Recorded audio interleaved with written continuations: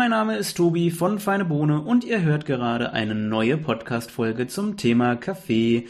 Ich spreche noch immer mit Sven und Peter von World Originals. Wer den Anfang unseres Gesprächs verpasst hat, der darf sich gerne die letzte Podcast-Folge anhören. Da habt ihr uns nämlich berichtet, dass ihr auf eurer Reise durch Kolumbien euren favorisierten Kaffee gefunden habt. Aber wie ging es dann bei euch weiter und was sind eure Pläne für die Zukunft? Wir haben, wie gesagt, verschiedene Fincas, wird es ja dort genannt, man so möchte, Kaffeebauernhöfe besucht und haben uns dann mit einem Farmer sehr gut verstanden. Der Farmer hat bereits sehr viel Erfahrung auch im Produktionsprozess, sodass das gut geklappt hat. Auch in der Zusammenarbeit und in den Gesprächen zur Zusammenarbeit und haben dann gesagt, wir testen das zusammen aus, wir probieren das aus und sind immer noch in sehr guten Kontakt und arbeiten mit ihm zusammen. Das ist jetzt circa anderthalb Jahre her, nachdem wir das mit ihm ausgemacht haben. Das war 2018. Das zweite Mal dann in Kolumbien und seitdem läuft das gut an. Und genau, zur weiteren Ausrichtung ist es so, dass wir natürlich dort auch ja, die, die Geschäftsbeziehungen intensivieren wollen, also auch da höhere Mengen beziehen möchten, die wir dann entsprechend hier auch absetzen und das Geschäftsmodell ausweiten. Da gibt es jetzt verschiedene, verschiedene Steps, verschiedene Möglichkeiten, die denkbar sind. Aber wir haben sozusagen jetzt die Zuliefererseite, sprich unseren Pharma fest ongeboardet, wenn man so möchte, arbeiten sehr gut mit dem zusammen, haben weitere Kontakte auch immer wieder hergestellt zu anderen Farmern, sodass wir da gut aufgestellt sind, haben da viel Arbeit betrieben und jetzt geht es eher so auf die, ja, auf die andere Marktseite, wenn man so möchte, von den nächsten Schritten her. Genau, also ich glaube, da, da ergeben sich jetzt auch wahrscheinlich für viele Zuhörer viele Fragen, ja, was, was heißt da jetzt Ongeboardet und was habt ihr denn da gemacht? Also das, das Thema ist ja, dass die Kaffeebauern letztendlich alle heute Rohkaffee verkaufen. Ja, also 99,9 Prozent laut Exportstatistik verkaufen Rohkaffee. Ähm, es gibt immer ein paar Ausnahmen. Und Rohkaffee verkaufen bedarf jetzt nicht unbedingt der höchsten äh, betriebswirtschaftlichen Kompetenz. Ja. Das heißt, die sind halt Kaffeebauern, sind sehr gut in ihrem, in ihrem Fachwissen ähm, zu fermentieren, zu trocknen und so weiter. Das hier ist in Kolumbien tatsächlich sehr hochwertig. Aber letztendlich passiert ja folgendes, dass wir den Kaffeesack auf den LKW schmeißen, der während der Erntezeit jede Woche da irgendwie rumfährt, dann wird es gewogen und dann bekommen die Cash. Ja, das heißt wirklich, betriebswirtschaftliches Denken ist da, ist da jetzt ähm, ja nicht so, nicht so wirklich vorhanden. Wie wir vorher schon gesagt haben, teilweise kennen die ja dann ihren eigenen Kaffee nicht, weil die den nie selbst geröstet, nie getrunken haben. Und dann haben wir gesagt, na gut, es kann ja eigentlich nicht sein, dass die erstens ihren Kaffee nicht kennen und da haben wir teilweise auch Leute unter Tränen erlebt, die da ganz, ganz emotional sind.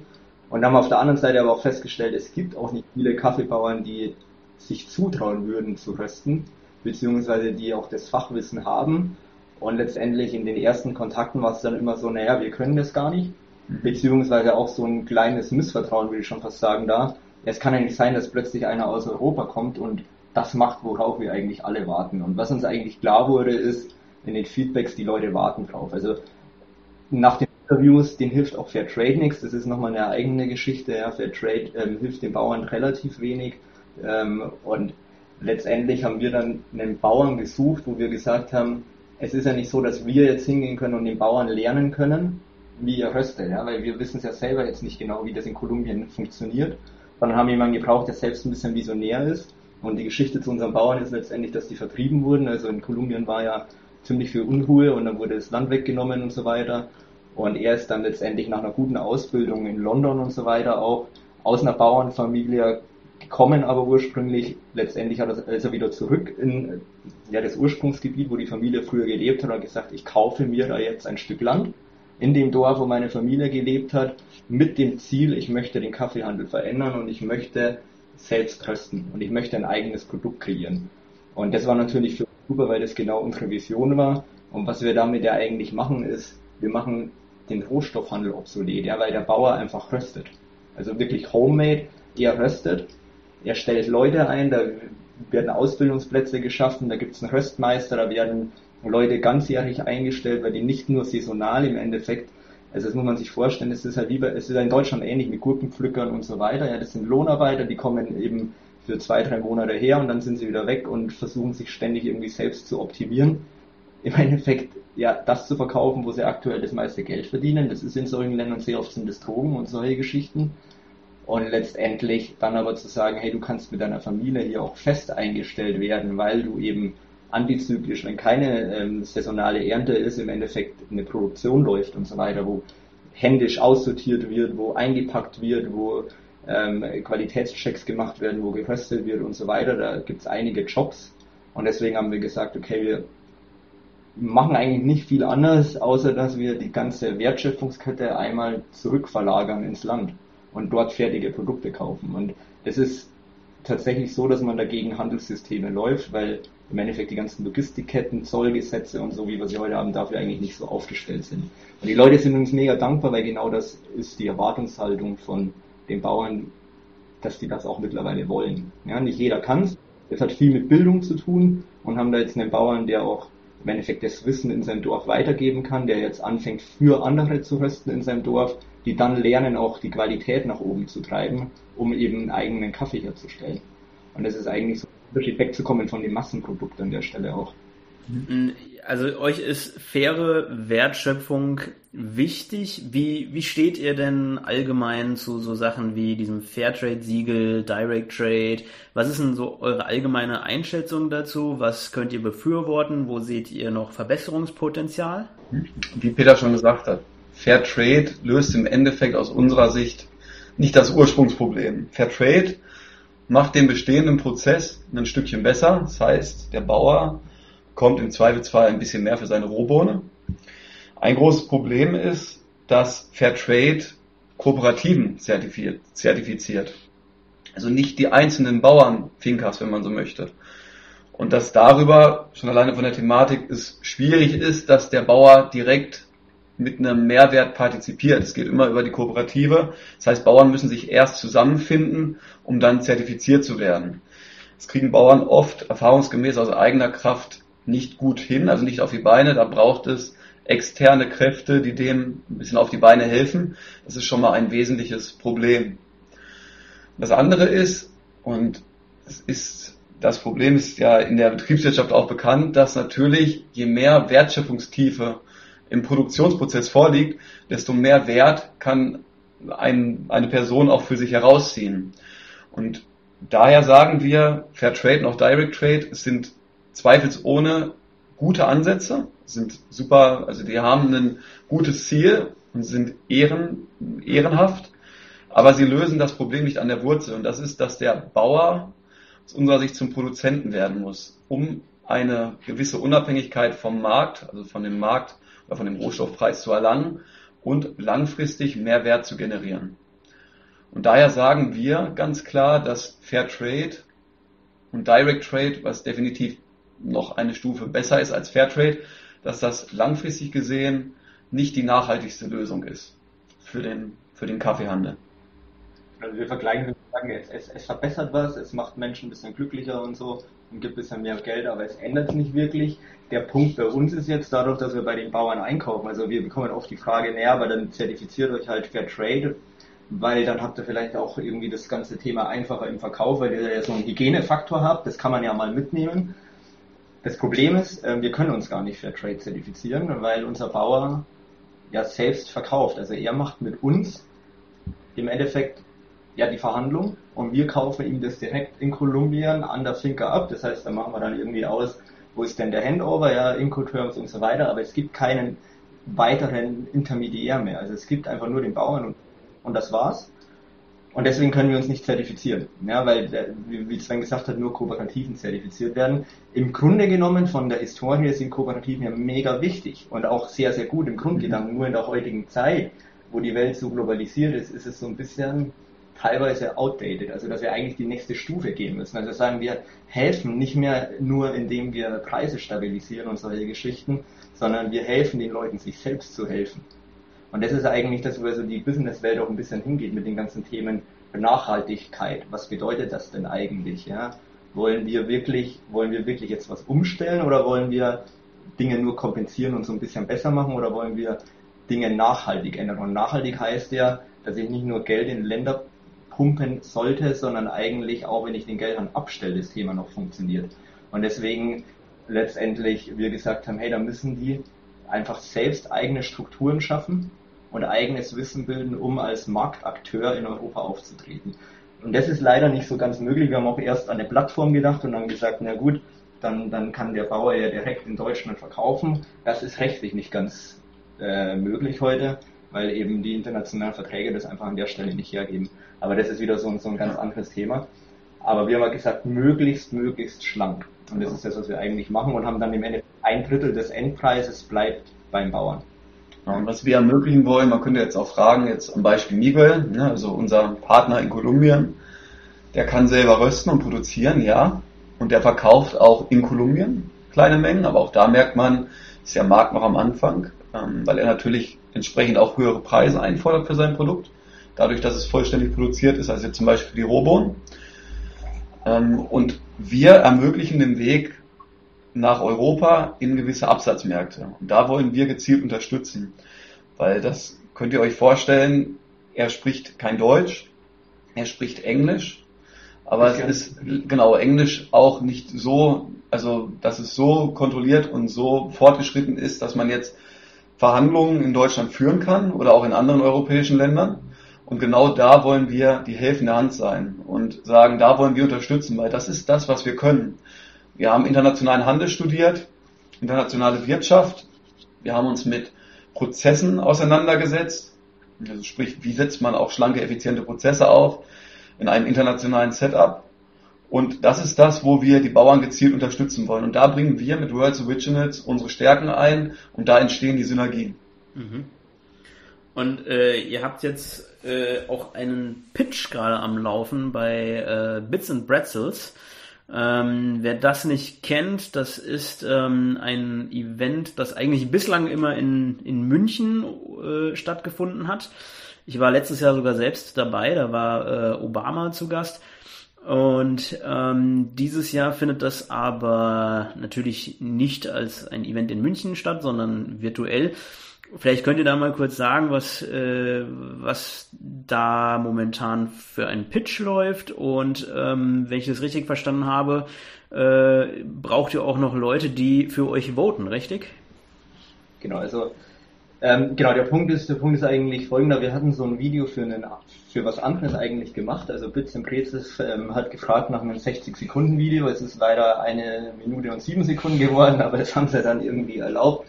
Und haben dann gesagt, na gut, wir haben das Video und wir sind aktuell in der Situation, dass wir letztendlich, also wir haben uns die, die irgendwie ziemlich lang damit befasst, das ganze Thema aufzusetzen und so. Und jetzt wissen wir, dass es funktioniert. Das war immer so ein Fragezeichen, klappt das überhaupt, was wir tun? Jetzt wissen wir, dass es klappt und jetzt ist im Endeffekt der Schritt bei uns. Und da an der Stelle auch, auch herzlichen Dank an, an, an dich, Tobias, für, für den Podcast. Das ähm, ist, ist glaube ich, da an der Stelle genau zur richtigen Zeit, weil wir jetzt versuchen, das Ganze so ein bisschen auf die Straße zu bringen. Und das heißt, man muss mit dem Thema irgendwie bekannt werden. Jetzt haben wir ein Thema, was erklärungsbedürftig ist. Und deswegen haben wir gesagt, na gut, wenn wir die Möglichkeit haben, ein Video hochzuladen, dann tun wir das. Und jetzt sind wir bei, bei Bits und Prezels, haben unser Video hochgeladen, wurden schon ein bisschen gewotet und freuen uns natürlich über, über jede Unterstützung, dass wir da an der Stelle noch mal ein bisschen mehr Präsenz bekommen. Also wenn euch das Thema Kaffee und Nachhaltigkeit wichtig ist, ähm, könnt ihr auf jeden Fall sicher sein, dass wir das vertreten werden bei Bits und Brezels, wenn wir denn gewotet werden. Also die besten acht werden gewinnen und kommen dann im Endeffekt jetzt mit Corona auf eine virtuelle Bühne. Und dann können wir das ganze Thema ein bisschen promoten und voranbringen. Und deswegen lag uns das sehr am Herzen, dass wir gesagt haben, den Kanal lassen wir nicht gehen. Wenn es die Möglichkeit gibt, nehmen wir das mit. Was sehr interessant ist auch an der Stelle, Bits und Brezels ist ja sehr technologieorientiert. Ja, es steht ja nicht umsonst das Bits da auch in dem Titel mit drin. Und wenn man sich die Startups anguckt, dann sind wir gewissermaßen Exot, weil wir haben ganz klar gesagt, es gibt den Reiter Impact Business, also die Kategorie. Und da haben wir gesagt, da passen wir gut rein.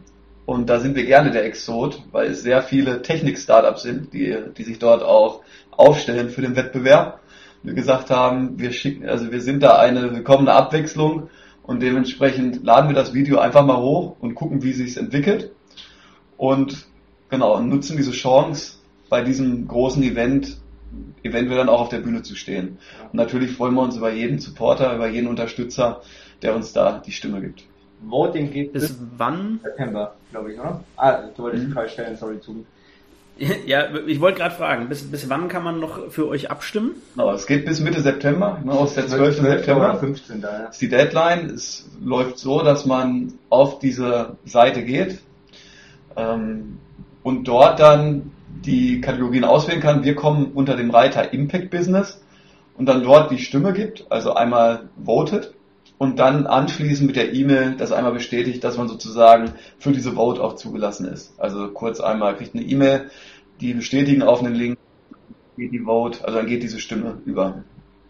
Okay, und den Link dahin, äh, den findet man aber auch auf eurem Instagram-Profil, oder? Der Link, der ist auf dem Instagram-Profil in der Info, also ganz oben ist der aufgeführt. Genau. An, ansonsten einfach googeln Bits und Brezels Voting, kommt Genau. sofort hin. Oder Bits und Brezels Voting, Bits und Brezels Pitch und dort erscheint dann dieser Wettbewerb.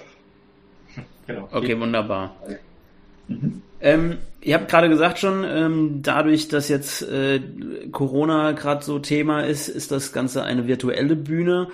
Ähm, jetzt mal unabhängig von Bits and Bretzels, was hat, was hat Corona bei euch ähm, für ähm, was hat was hat Corona bei euch losgetreten? Ist, war das bei euch jetzt ein Problem oder ähm, ihr habt schon gesagt, ihr wolltet jetzt eigentlich nach, äh, ich glaube im März habt ihr gesagt, wolltet ihr nach Kolumbien und jetzt wolltet ihr auch noch nach Tansania. Das konntet ihr jetzt wohl nicht. Ähm, was hatte das bei euch für für Auswirkungen Corona? Also ich glaube, man kann drei, drei Sachen ähm, sehen, wo es Auswirkungen hatte. Einerseits ist es der Markt, also hier in Deutschland. Ja? Also ganz klar die Kundenperspektive an der Stelle, wo einiges irgendwie sich verändert hat. Auf der anderen Seite ähm, ja Relationship ähm, mit, mit den Leuten vor Ort, weil wir eben hinreisen wollten, hat einfach nicht funktioniert. Das äh, ging bis heute nicht. Sobald es geht, werden wir das machen, aber wir sind halt jetzt mit Videocalls und so in Kontakt, funktioniert gut. Aber aktuell ist es nahezu unmöglich, äh, sagen wir mal, einen neuen, ein neues Land eben onzuboarden, weil man muss persönlich mit den Leuten sprechen, weil alles, was wir hier tun, basiert auf Vertrauen. Und letztendlich muss es persönlich passieren, das ist mit Corona schwierig. Und das dritte ist die Lieferkette. Ja? Also Corona hat natürlich Auswirkungen auf die Lieferkette. Und bei der Lieferkette war es letztendlich so, dass wir sehr viel Glück hatten oder beziehungsweise dadurch, dass wir extrem schlank aufgestellt sind und keine Zwischenpartner haben, hat es super funktioniert. Wir sind global in der Logistik aufgestellt und im Endeffekt so ein bisschen antifragil. Also wir hatten während Corona tatsächlich eine Lieferung gebracht und jeder hat gesagt, wer hat das denn gemacht? Letztendlich war die Verzögerung zwei Wochen. Das war ein bisschen schwierig, man musste ein bisschen mehr hinterherhecheln sozusagen. Aber es hat ähm, super funktioniert bei uns, im Gegensatz auch zu teilweise anderen Lieferketten im Kaffeebereich. Genau, und von der Kundengruppe, ich glaube, da kann das Sven ein bisschen mehr erzählen drüber. Da hat sich Ja. durchaus was verändert. Genau. Wir waren gewissermaßen auch auf Gastro ausgerichtet und haben dort auch Kunden gehabt. Vor allem auch Interessenten. Das wurde natürlich dann schwierig durch Corona. Ne? Also gerade so die Restaurantbranche oder auch Hotels, die ja sehr, sehr große Probleme hatten durch Corona, die schließen mussten. Die haben sich natürlich dann erübrigt auch erstmal als Abnehmer.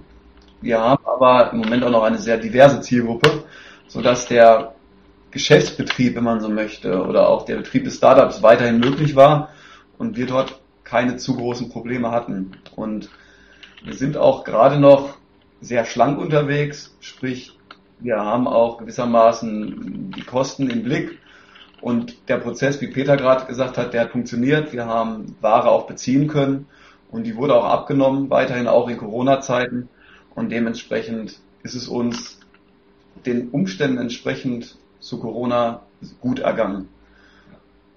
Also was man vielleicht sagen kann, der, der, der Privatkundenmarkt hat halt extrem angezogen während Corona. Und das war so unser Segment, wo wir eigentlich nicht so aufgestellt waren. Deswegen konnten wir davon gar nicht so viel partizipieren. Also wir haben damals auch gesagt, wir machen bewusst keinen Online-Shop erstmal, weil einfach dadurch, dass wir das, ähm, den, die, den Kaffee direkt aus dem Ursprungsland beziehen, die ganze Logistikkette und ja sehr auch bewusst nicht nur mit dem Menschen, ja, sondern auch mit der Umwelt denken, haben wir gesagt, wir wollen jetzt eigentlich gar nicht diese 500 Gramm irgendwie an den Endkunden verschicken, äh, weil es irgendwie nicht zu unserem Ansatz passt und es auch super teuer und schwer und komplex ist, da auf den Markt zu kommen, weil es da wahnsinnig viel Konkurrenz gibt. Und somit konnten wir da leider, also wenn wir einen Online-Shop gehabt hätten, wäre es wahrscheinlich, hätten wir da besser partizipieren können. War es für uns ein bisschen schwierig, so auf den Privatkundenmarkt zu shiften letztendlich, weil der deutlich stärker gekommen ist im Verhältnis zur Gastronomie. Ja, anstatt dass die Leute ins Café gingen, haben sie jetzt halt privat getrunken, beziehungsweise wir hatten auch Bürokunden, also so ein paar mittelständische Unternehmen und so weiter. die natürlich auch alle im Homeoffice jetzt die Leute haben. Da haben wir es noch ganz gut hingekriegt, da haben wir dann auch mal angeboten, ähm, ja, wie haben wir es genannt, virtuelle Kaffee-Ecke, also dass die Unternehmen quasi den Kaffee nach Hause verschicken können und so weiter. Da haben wir ein bisschen, bisschen versucht, kreativ zu sein. Aber jetzt langsam normalisiert sich's wieder und jetzt müssen wir mal gucken, wie das Ganze weitergeht. Ja. Genau. Sind aber durch, also wir sind gut durch Corona gekommen. Ja. Genau. Nur eure Reisen äh, liegen jetzt erstmal auf Eis oder habt ihr da schon was Neues geplant? Gut, definitiv, wie Peter auch schon gesagt hat, sobald da grünes Licht kommt, sitzen wir im Flieger. Nein, aber ähm, wir, wir sind sozusagen bereit, rüber zu fliegen, aber wir warten die Lage ab und im Moment, wenn man sich die, die Verhältnisse in Kolumbien anguckt, wir haben regelmäßig Kontakt nach Kolumbien. Es ist noch sehr angespannt. Ähm, Leute, es war vor zwei Wochen auf jeden Fall noch so, dürfen nicht rausgehen immer zum Beispiel. Haben gewisse Zeiten, wo sie dann einkaufen gehen dürfen. Also es sind absolut Vorsichtsmaßnahmen dort auch im Gange. Und unter den Umständen macht es absolut keinen Sinn, dort einzureisen. Das ist vielleicht auch noch, auch noch ein Aspekt, den man, der da vielleicht ganz spannend ist. Also wie sieht es denn mit den Kaffeebauern aus während Corona? Und da wir natürlich ähm, in ganz engen Kontakt sind, ähm, ist für uns jetzt natürlich spannend, wie kommt denn unser Ansatz eigentlich an während so einer Phase von Corona? Und was wir sehen ist, dass das, was wir tun, während Corona nochmal deutlich wichtiger wurde und deutlich spannender wurde, weil letztendlich, was wir ja machen oder was jetzt passiert ist, ist, dass aus zwei Gründen, einerseits durch Corona, weil im Endeffekt kann man sich vorstellen, die, die hatten in Kolumbien einen kompletten Lockdown und haben die immer noch. Also es ist ein bisschen rabiater äh, wie in europäischen Ländern tatsächlich, weil das Gesundheitssystem und die Ökonomie einfach es nicht aushalten würde, hohe Zahlen zu haben. Das heißt, die sind deutlich strenger und somit hatten die auch keine Pflücke mehr. Ja, das heißt, die haben die Kaffeeernte ist ja eingebrochen und letztendlich stellt sich dann natürlich die Frage gleichzeitig mit dem Marktpreis, der sich auch gerade ähm, nicht nach oben entwickelt. Beim Kaffee ist natürlich gerade wahnsinnig viel Bewegung drin, dass wirklich auch in der Welt aktuell Leute, ich würde jetzt nicht direkt sagen verhungern, aber da einigen ähm, Familien geht es wirklich nicht gut und vor allem Pflückern im Hintergrund, die nicht mehr bezahlt werden und so weiter. Und da ist natürlich jetzt für uns ganz spannend gewesen, dass wir sagen können, wenn man jetzt auch noch bedenkt, dass, in, also das sind so Studien, die es gibt, ja, bis 2050 wird sich die Kaffeeernte aufgrund ähm, im Endeffekt der, der globalen Erwärmung halbieren und man sagt, die Leute werden ja weniger produzieren, dann ist die Frage ja, wie können die denn dann noch leben, wenn sie heute schon Schwierigkeiten haben? Und dann kommen wir ins Spiel, wenn wir nämlich sagen, ja gut, mit unserem Ansatz kriegst du ja dreimal mehr Geld. Das heißt letztendlich, weil wir den Bauern dreimal mehr bezahlen, dadurch, dass der produziert und so weiter, also dreimal mehr wie Fair Trade im Verhältnis, ja, haben wir letztendlich die Möglichkeit zu sagen, naja, du kannst mit weniger Produktion, mit ein Drittel der Produktion am Ende des Tages das gleiche Gehalt erreichen. Und das ist natürlich während Corona nochmal super interessant gewesen, wo sich die Beziehung in Kolumbien für uns nochmal deutlich verstärkt hat, weil, das ist jetzt ein bisschen böse gesagt, aber der Hass gegenüber dem alten System bei den Bauern nochmal gestiegen ist. Also das kann man schon so ja, sagen. Die Abneigung. Also, also ja, genau. teilweise ist es wirklich, ja. also da, die sind nicht gut zu sprechen auf dieses mhm. System teilweise. Und, und, Definitiv, ja. Und, und da sehen wir schon, das ist halt sehr langfristig gedacht, aber das Thema wird mehr und mehr kommen, also auch mit den wir arbeiten ganz eng mit, auch mit Leuten von, von den ähm, United Nations Sustainable Development Goals. Es gibt ja Agenda 2030 Entwicklungsziele und da geht es genau um solche Themen, die wir im Endeffekt angreifen. Weil wir einfach sagen, es reicht nicht zu sagen, wir pflanzen Bäume und so weiter, sondern wir müssen wirklich was integrativ, etwas nachhaltig ändern. Ja, also Handelssysteme ändern, Management an die Wurzel ändern. des Problems. Genau. Und das liegt in dem Genau. Ja. Und, und da gibt uns Corona einfach mehr und mehr recht. Das hat uns auch nochmal so beflügelt. Kurzfristig, ich mal, im Umsatz war es jetzt nicht förderlich. Ja. Aber wie gesagt, auch da zu, zu, nicht zu stark von den Auswirkungen. Von daher alles gut. Wir freuen uns auf die nächsten Monate. Wir freuen uns, wenn es wieder vorangeht und Corona auch vollständig überstanden ist. Und genau. Und drücken auch weiterhin allen anderen die Daumen, dass sie gut durch Corona kommen und dass es auf jeden Fall wieder bergauf geht jetzt. Ja, ja das hoffe ich auch. Ähm, ich habe gerade mal einen Blick in meine Kaffeetasse geworfen. Der Kaffee geht zur Neige, deswegen müssen wir langsam zum Ende kommen. Aber gibt es noch was, was ihr den Hörern auf den Weg geben wollt? Ein, ein Motto, ein, äh, eine Vision? Was, was habt ihr noch zu sagen? Ja, ich möchte gerne allen Hörern, vor allem in der Konsumentenrolle, mit auf den Weg geben, dass sie alle einen Einfluss haben. Das höre ich immer wieder, wenn ich in Gesprächen bin, dass gesagt wird, ja, wir können es ja nicht ändern oder ja, wir sind ja nicht in der entscheidenden Position, das zu ändern. Und da ist das Problem, wenn das so gedacht wird, dann passiert wirklich nichts. Und der Konsument im jetzigen Lebensmittelhandel, der hat eine ungeheure Macht, das ist ihm gar nicht bewusst. Wenn Leute, wenn mehr und mehr Leute auf die richtigen Ansätze setzen und auch Produkte hinterfragen und bewusst konsumieren und sich wirklich damit auseinandersetzen, wie kommt dieses Produkt zustande, wie wird es produziert, wie geht es den Leuten auch dort dahinter, dann kann sich eine Menge zum Guten bewegen in den Produktionsprozessen bei Lebensmitteln. Und das ist so der Appell, den ich auf jeden Fall heute nochmal an alle auch richten möchte. Setzt euch damit auseinander, was esst ihr, was trinkt ihr, was konsumiert ihr und wie sind die Bedingungen hinter diesen Produkten. Sehr schön. Ich versuche mal noch einen anderen Aspekt zu ergänzen. Vielleicht mit einer, mit einer ganz kleinen Anekdote, das haben wir vorher, vorher gar nicht so erwähnt. Als wir unser Produkt fertig hatten, sind wir mit dem Produkt wiederum in Röstereien gelaufen und haben die Leute testen lassen und das Feedback war extrem positiv. Hey, weil wir haben ja so einen SEA-Score und so weiter, also der ist gegradet und dann hieß es ja super Kaffee und dann haben wir gesagt, ja, der ist in Kolumbien produziert. 100% verpackt produziert. Und die Aussage letztendlich war, ja, das geht ja gar nicht, die können das doch gar nicht. Die können das doch gar nicht in der Qualität. Und ich glaube, ähm, das ist was, was wir gelernt haben jetzt mittlerweile, so ein bisschen da auch bescheidener zu sein. Es ist nicht so, dass wir in Deutschland immer alles besser machen. Wir sollten auch, glaube ich, den Ländern und den Leuten vor Ort mehr zutrauen und denen auch die Macht geben, einfach mal was zu probieren und nicht immer den Leuten vorschreiben, was sie zu tun haben, sondern auch einfach die Leute mitnehmen und Bord nehmen und auch mal mehr selbst machen lassen und im Endeffekt Bildung in die Länder verlegen und so weiter und das Ganze so ein bisschen voranzutreiben. Also da glaube ich, können wir, können wir alle auch partizipieren. Das ist das, was wir so als Nachhaltigkeit beschreiben. Und darum geht es uns letztendlich. Also das, wenn wir da ein bisschen, ein bisschen die Botschaft voranbringen können, dann haben wir, glaube ich, ganz viel, genau. ganz viel gewonnen an der Stelle. Also wirklich der verantwortungsvolle Umgang mit Mensch und Natur. Ne? Und das fängt wirklich auch beim Konsum von Produkten an, dass man sich damit mehr und mehr auseinandersetzt. Weil wir alle können Verantwortung übernehmen. Mhm. Das äh, sehe ich genauso, ja, das stimmt. Okay, ihr beiden, ich danke euch für diese Einblicke. Ich habe äh, wieder was gelernt und ähm, ich muss jetzt wirklich mal schauen, wo ich diesen vietnamesischen Kaffee testen kann. Ähm, ich bin gespannt, was ihr äh, demnächst noch so zu erzählen habt, äh, wenn ihr dann die nächste Reise ähm, hinter euch habt, was ihr da so berichtet. Aber ähm, bis dahin erstmal vielen Dank und ich hoffe, wir hören wieder von euch. Definitiv, sehr gerne. Tobi, vielen Dank für deine Zeit, für wirklich dieses nette Interview, diesen netten Podcast und auf jeden Fall alles Gute. Bis demnächst. Bis, Bis dann. Demnächst. Tschüss. Schönes Wochenende zusammen. Genau. Ciao. Ciao, ciao.